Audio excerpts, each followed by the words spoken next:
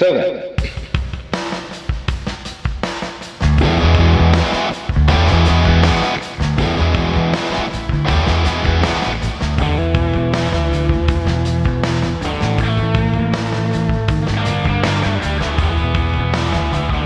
It's so funny that we in our Western culture today say that kind of thing. We who do more chaotic and reckless kind of action than anybody ever did.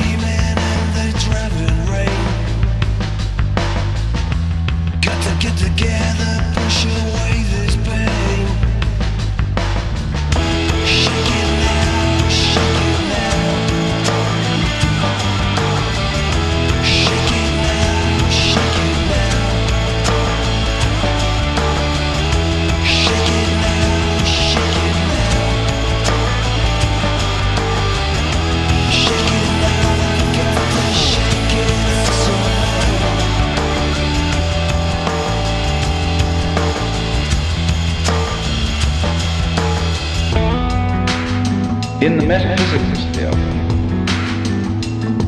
the mystic is the one who feels that everything that happens is in some way harmonious, is in some way right, is in some way an integral part of the universe.